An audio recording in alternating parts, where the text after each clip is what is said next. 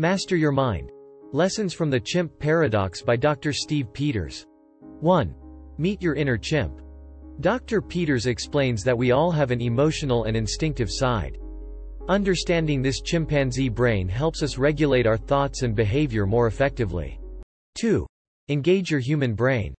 Our human brain is responsible for reasoning, logic, and making rational decisions.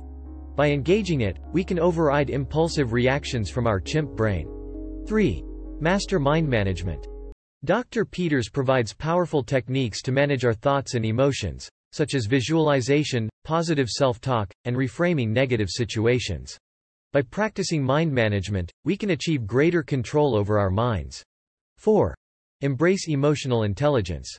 Understanding and managing our emotions allows us to communicate effectively, empathize with others, and make more compassionate decisions.